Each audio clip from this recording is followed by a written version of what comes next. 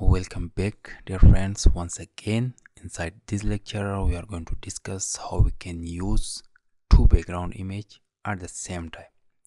So open your code editor i have just saved this page by giving the name to dash background dash image dot html for every lesson for every uh, every lecture sorry i'm just creating a separate file because i'm just sending this for you. You can just download from the resources section so here you can just uh, preview the file. We have just for right now we have one image here. And i want to just use one more image on the this image.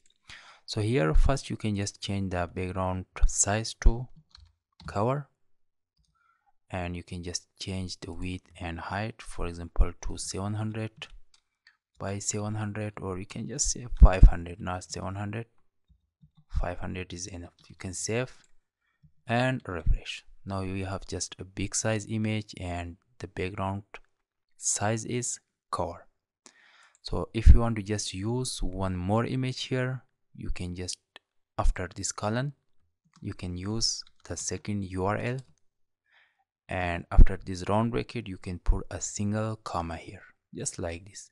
And inside this you must mention or give the name of your image. I have image by the name of pen.png save and refresh. Now you can see we have one more image on the top or on the first image here. So you can just uh, after applying the image you need to mention the size for the second image. You can say just for example uh, 30 percent. You can just use a percent here and a single comma to tell them you can see. Now we have just this image with the 30 percent. You can just resize this by giving 30 percent 20 percent 50 percent. Any size you want. And also you can just give in pixel em or centimeter that we have discussed about this in the last lecture.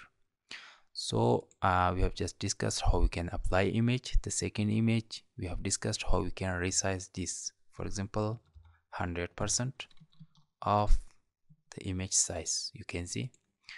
But i'm just going to use here just the 20 percent of the size for the second image. And if you want to just move this to the bottom uh, right or bottom left you can just apply this here inside the background position. You can just say bottom and space and left. Just here you need to put a single comma. Bottom left for the second image the pen one save and refresh. So this just bottom left you can just use this on the bottom right also. Bottom right save and refresh. It is on the bottom right. If you want just on the top left or on the top right you can just use here top save and refresh top right and for top left you are right writing here top left save and refresh. So you can just uh, i'm just going to use here 10 percent for this save and refresh. So now you can see this just 10 percent. So for repeat direction uh, here i'm just going to write background repeat. So you can just say repeat vertically or horizontally you can select and a comma. It means for right now we have just repeated the image left to right horizontally. Now you can see just repeat it from left to right and the value for that is x. If you are just putting y it will repeat vertically save and refresh now you can see this just repeat it vertically. So this just uh, up to you you want to just repeat horizontally or vertically.